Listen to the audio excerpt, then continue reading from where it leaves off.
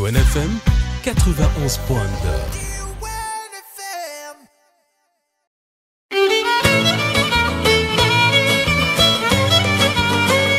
تولد أرسطو عام 384 قبل الميلاد في مدينة استاغيرا شمال اليونان. بوه كان طبيب مقرب من البلاط المقدوني وكان تأثيره كبير لدرجة خلى ولده مغروم بالطب ويدخل المجال التشريح ودراسة الكائنات الحية واللي منها ولد عنده القدرة على التحليل ودقة الملاحظة. وعلى ذكر دقة الملاحظة حبيت نعطي ملاحظة. في البورتري هذا باش تسمعوا برشا تواريخ وباش تلاحظوا إنه كل ما يتقدم الزمن كل ما يكبر صحيبنا كل ما السنين اللي باش نقولها باش تنقص. مثال أرسطو تولد عام 384 قبل الميلاد. معناها في عام 364 قبل الميلاد صحيبنا قفل 20 سنة. نرجو لموضوعنا في عمر 17 سنة وبالضبط عام 367 قبل الميلاد سافر أرسطو لأثينا باش يلتحق بمعهد أفلاطون كطالب في البداية وكمدرس فيما بعد. أفلاطون جمع في المعهد متاعه مجموعة من الرجال المتفوقين في مختلف المجالات العلمية من طب وبيولوجيا ورياضيات وفلك. وما كانش يجمعهم رابط عقائدي سوى رغبتهم في إثراء وتنظيم المعارف الإنسانية وإقامتها على قواعد نظرية راسخة ثم نشرها في مختلف الاتجاهات وكان هذا هو توجه الواضح لأعمال أرسطو. من البرامج اللي كان يعتمدها معهد أفلاطون كان يقوموا بتدريب الشباب باش يقوموا بالمهن السياسية وتقديم النصايح والمشورة للحكام. وذاك علاش؟ انضم أرسطو عام 347 قبل الميلاد لبلاط الملك هرمياس في عام 343 قبل الميلاد دخل في خدمة الملك فيليب الثاني إمبراطور مقدونيا وين ولا مؤدب الولد الإسكندر الكبير.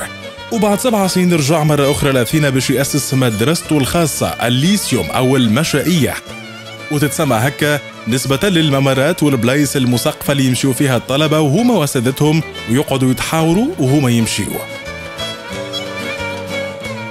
اختلفت مدارس أرسطو مع المدارس متاع أفلاطون وين قام أرسطو بتوسيع المجالات العلمية اللي كانت تناقشها وأعطت أهمية كبيرة للطبيعيات.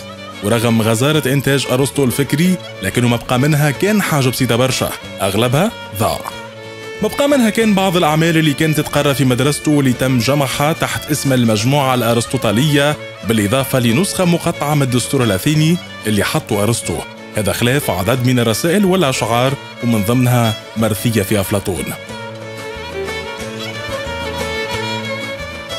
أرسطو أول فيلسوف قام بتحليل العملية واللي بموجبها يمكن منطقيا استنتاج أنه أي قضية ممكن تكون صحيحة استنادا إلى صحة قضايا أخرى. كان في اعتقاده أنه عملية الاستدلال المنطقي هذه تقوم على أساس شكل من أشكال البرهان سماها القياس. وفي حالة القياس يمكن البرهن أو الاستدلال منطقيا على صحة قضية معينة إذا كان فما زوز قضايا أخرى صحاح مثال كل إنسان فان وسقراط إنسان إذا سقراط فان.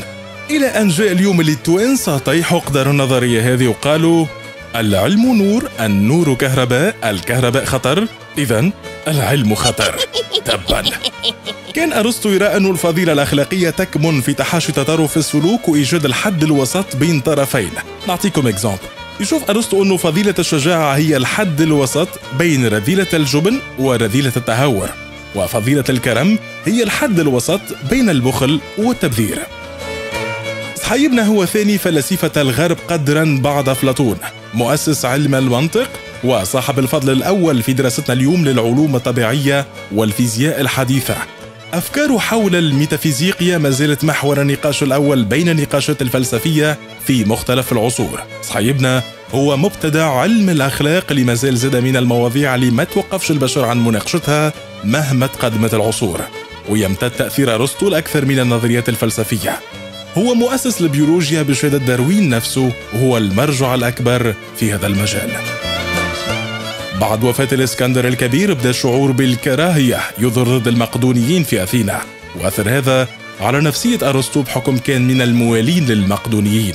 الشيء اللي خلاه يتقاعد وبدأ يذبكي الشمعة بعيد على أحب حاجة ليه. وساعته ما كانتش بعيدة على الإسكندر الكبير. وهكا يتوفى أرسطو عام 322 قبل الميلاد.